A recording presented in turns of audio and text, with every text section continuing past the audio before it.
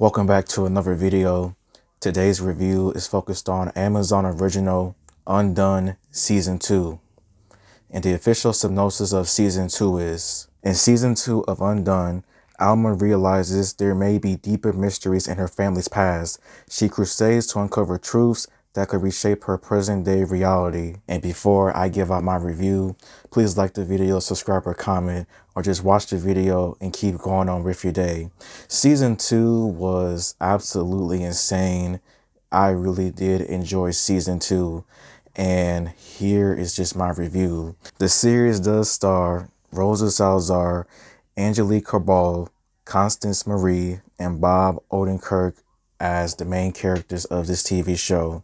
And I felt like all of the performances in this season, all of them gave out a really good performance. Rosa Salazar as Alma, she stole the show just like last season as Alma continues to use her newly found discoveries and powers and tries to change not only her life, but to uncover a lot of just hidden secrets that could be kind of like Pandora's box once they revealed.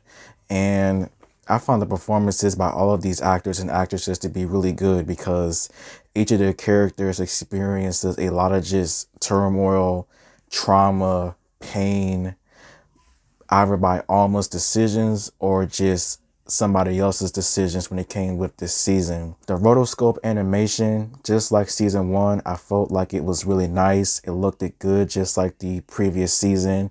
I felt like it gotten better actually too with how it looked on screen with the new paintings, the new backgrounds that was used in all the episodes.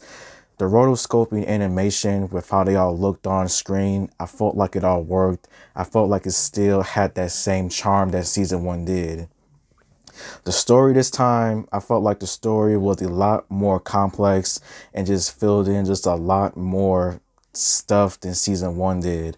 As I previously mentioned, Alma this time around is now trying to uncover a few different secrets about her family, especially her mother, as her mother has been acting very strange as of late. And what happens is you could definitely say it's like some Marvel Doctor Strange with the multiverse because of what happens, because of the secrets and the plot twists that just gets revealed in this season. As so many things get unraveled, gets exposed in this season that it's hard to explain. Like one decision could change every single thing.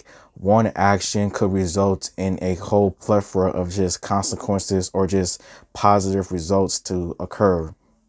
And I really did enjoy this season as this season definitely does uncover a lot. It definitely does talk a lot about different things such as just trauma, pains, um, disabilities, secrets, turmoil, grief, and also happy things as well. Also positive things.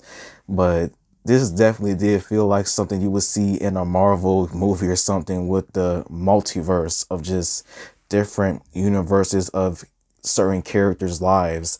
As I felt like a lot of other characters' lives was shown this time around this season that you didn't see in season one when you look at it. But yeah, the story though, crazy. I really did enjoy it. The cinematography and how things looked, it worked I did not have no issues with the cinematography as this season just uncovered a lot. The director, Hisko Hulsing, applaud to you. You did a good job. Now, when it comes to any issues that I have with this TV show, with this season, I'll be honest. I did not have no issues when it came with season two because I didn't think there really was any. That's how I, that's how I felt. And if this show were to return for season three, I would definitely watch because I think there is still a lot more to unpack with these characters. Like, if this show were not to get renewed, I'd be disappointed, but understood. Like, the way that this season ends, you could definitely feel that it is somewhat ambiguous, just like season one, because you don't know what's going to happen next. And so, yeah, Undone season two hits out of the ballpark when it comes with everything from the story, the characters, the secrets, just everything. Like you would not be disappointed if you really did enjoy season one. And my rating for season two would be four and a half stars out of five. So thank you for watching. And until next time, goodbye.